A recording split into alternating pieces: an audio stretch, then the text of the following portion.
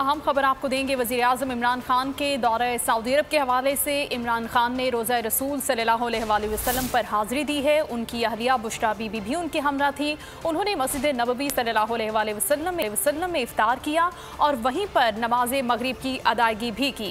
वज़ी अजम इमरान खान, जैसा कि सऊदी अरब के दौरे पर मौजूद हैं, आज वज़ी अजम इमरान खान ने अपनी अहलिया बुशरा बीबी के हमरा रोज़ा रसूल सल्लल्लाहु वसलम पर हाज़िरी दी और इस मौके पर उन्होंने अपना इफ्तार भी मस्जिद नबवी सल्लल्लाहु अलैहि वसल्लम में किया और वहीं पर उन्होंने नमाज़ मगरिब की अदायगी की। इससे पहले उन्होंने सऊदी अरब की अहम क़्यादत से मुलाकातें भी की थी और मुख्तलिफ़ माहों पर उनकी जानब से ताउन और पेशरफ पर बातचीत भी हुई थी और आज वो पहुँचे हैं मस्जिद नबवी अलैहि वसल्लम और अपनी वहीं पर उन्होंने नमाज़ मगरब की अदायगी की अपनी अहलिया के हमरा और वहीं पर उनकी जानब से इफ्तार भी किया गया। वज़ी अजम इमरान खान, जो कि दौरे सऊदी अरब पर मौजूद हैं और और आज वो मस्जिद नबवी अलैहि वसल्लम पहुँचे अपनी अहलिया बुशरा बीबी के हमरा और वहीं पर उन्होंने इफ़ार किया और नमाज़ मगरब की अदायगी भी मस्जिद नबवी सल्लल्लाहु अलैहि वसल्लम में वज़ी अजम इमरान खान की जानब से की गई।